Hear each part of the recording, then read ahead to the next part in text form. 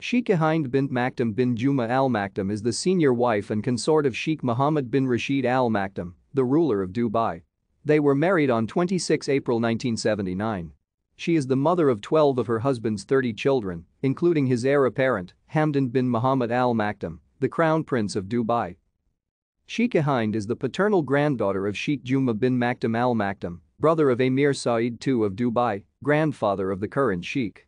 She is also the niece of Sheikh Ahmed bin Juma Al Maktoum, who died in 2009. Her mother, Sheikha Shaikat bin Saeed bin Maktoum Al Maktoum, was the daughter of Emir Saeed II of Dubai, making Sheikha Hind a first cousin of her husband through her mother as well as second cousin of her husband through her father.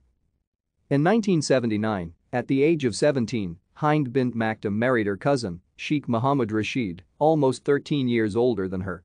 Their wedding was Dubai's first major public event. Elaborate arrangements were made to celebrate the event. Thank you for watching. Like and subscribe if you would like to view more of our videos. Have a nice day.